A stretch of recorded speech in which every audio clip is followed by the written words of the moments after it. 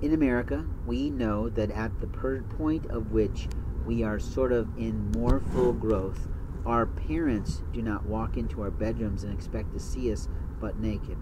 The truth is, in America, regardless of what society or ethnicity you come from, generally speaking, there is a form of modesty expected between parents and children.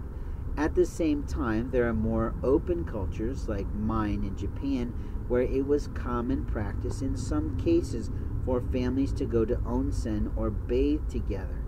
And it was sort of normal because in Japan, the concept of the human body is very different.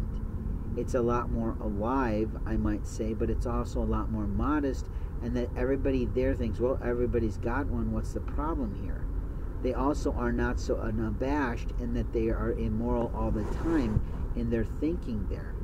But onsen over the course of time then became bi-gendered, where there was guys one on one side of a of a hotel and gals on the other, but it was still a bunch of strangers taking a bath together, which isn't much different than the typical locker room in a high school or a college.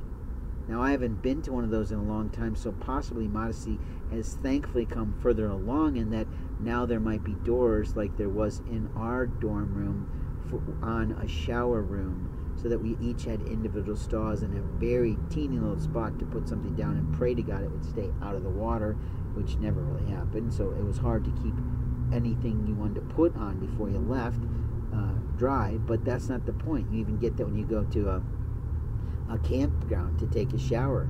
They don't have things appropriately designed so that the stuff you bring in there to change into doesn't get totally obliterated and wet. But that's not my point. My point is that the human body is the human body, and the human body is the individual's body. So after you reach a certain age, you sort of expect that your brothers and sisters don't want to see your naked body